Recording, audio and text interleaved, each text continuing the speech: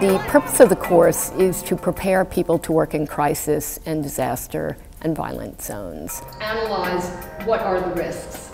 Are they RPGs, rocket propelled grenades? What we do, and I, and I think we're probably the only ones that do this, at least in an academic environment, is offer a holistic course that covers four of the main aspects of prevention and preparation. One is obviously your physical planning, your physical safety.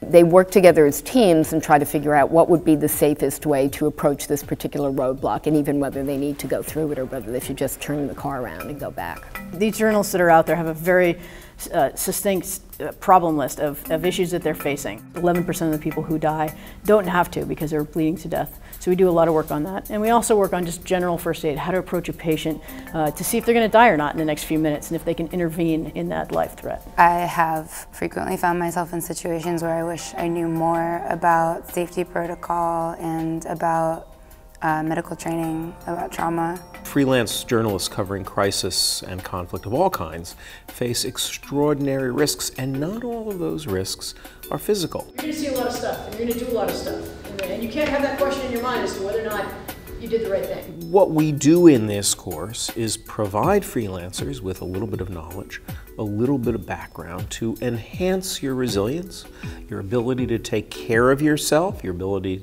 to take care of your colleagues when you're on difficult assignments. As a freelancer, when I am in the field, it's because I chose to be there and the responsibility to keep myself safe is on me. Increasingly, there's been surveillance of journalists.